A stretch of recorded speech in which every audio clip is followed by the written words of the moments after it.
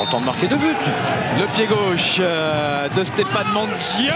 La tête de Schumacher.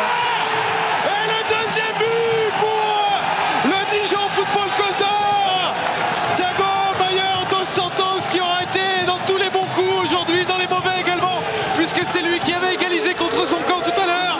Il s'est racheté et il vient peut-être offrir la qualification à Dijon à l'ultime minute second poteau. Il s'élève plus haut que Mendy. Ouais, il s'est mérité après le match qu'il fait. Oui, Je crois que euh, il aurait été malheureux ce soir dans le vestiaire.